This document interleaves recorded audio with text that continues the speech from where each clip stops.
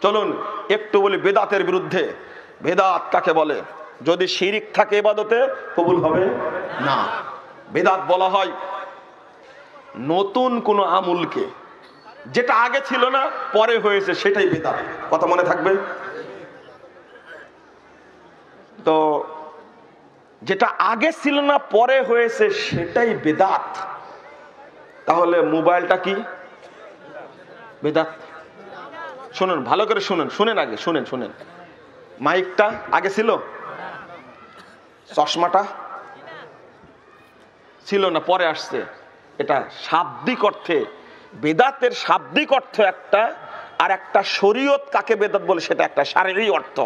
আপনার বুঝতে হবে এটা। আমি আগেই বলেছি, আটানব্বই জন আলেম বুঝে না। তা আপনারা বুঝবেন কি করে? আপনাদের বুঝতে হবে তাহলে নাকি? শরীয়ত বেদাত বলে কাকে? আল্লাহ রাব্বুল আলমিন এই শাব্দিক অর্থটাও বলেছেন, সুরায় আহকাব নয় নম্বর আয়াত, মা কুন্তু বিদাম মিনার রাসুল। রসুল, আমি রাসুলদের মধ্যে নতুন রাসুল নই, ইতিপূর্বেও রাসুল এসেছিলেন।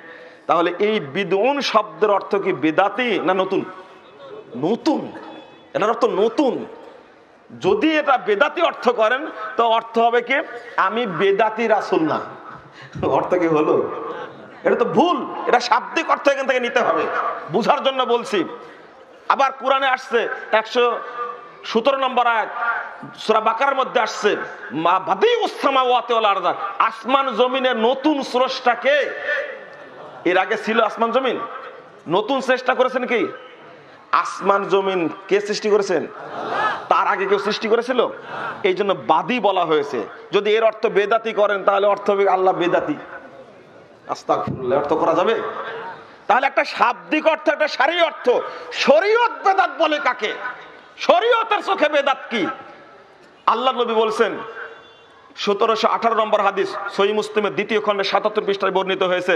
আল্লাহ রাসুল বলছেন, মান আমিলা আমালান লাইসা আলাইহি আমরুনা ফহরাদ কেউ যদি কোনো আমুল করে, যে আমুলটা করার নির্দেশ আমি মোহাম্মদ দেইনি ফহরদ ওই ব্যক্তি প্রত্যাখ্যাত, এই আমুল প্রত্যাখ্যাত। বুঝেছেন তাহলে?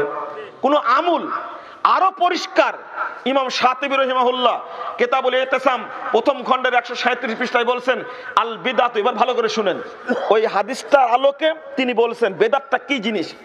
আল বিদাতু হিয়া তরিকাতুল ফিদ্দিন তুজাহি শারঈয়া ইউকসাদু বিহা